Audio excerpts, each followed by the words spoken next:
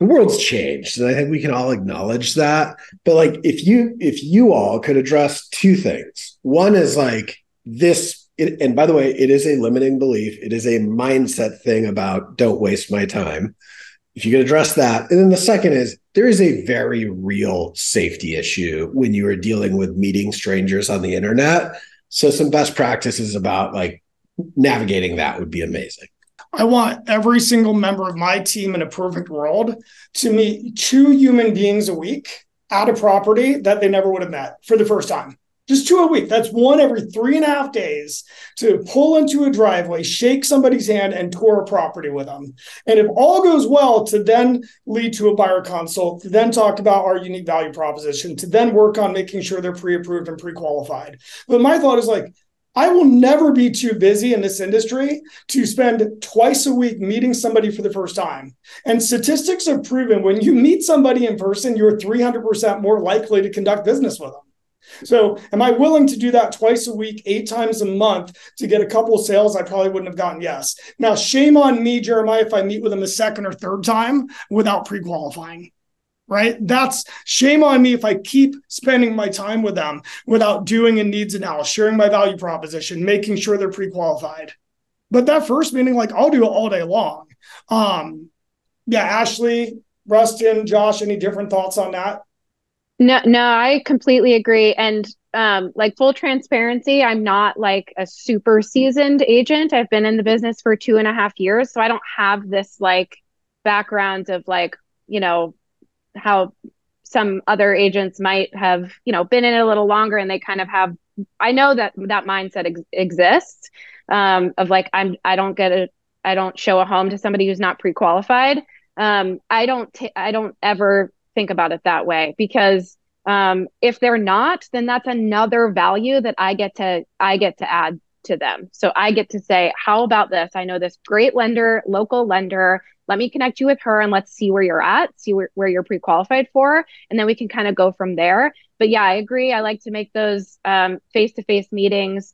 Um, and then as a follow-up, the second question in, in regards to safety is something that like, you know, I'm really conscious about as a woman and I'm 35 and um, I don't, I try to not go on first appointments um, that are showings with just that one person. Um, if there is a situation like that, I'll usually bring another agent along with me. Um, or we just don't meet at the home. Um, sometimes we'll meet for a coffee or something um, before the showing. If there's not time for that, then I'll try to bring somebody along. Um, and sometimes there, it's just not, you just can't do it. And you just kind of have to go to the appointment and you have to go alone. So, you know, you can carry something with you if you need to for to protect yourself. But um, there's lots of ways I feel like to protect yourself and keep yourself safe as long as you're being conscious about it.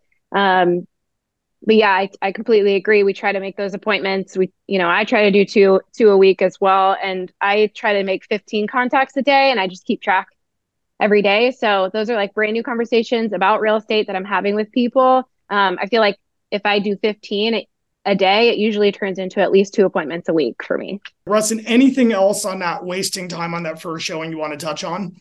Yeah, the it's the market of the moment is a real question. Um, Kodak didn't realize what the market of the moment was. They kept on issuing film, and they're completely out of business.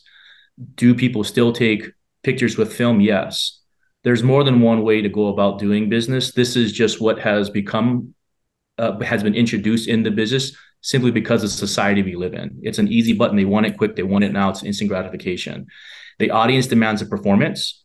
And if we're not providing them that performance, they're gone. They're going to move on to the next. So it's it's at your discretion whether or not you want to potentially introduce different types of beliefs into your practice that's going to allow you to have a higher rate of success. And, and when you are in front of someone, you have all forms of communication. You got body language, which is 55%. You've got tonality, which is 38%. And you've got your word selection, which is seven. You have 100% of communication that you're able to interact with somebody.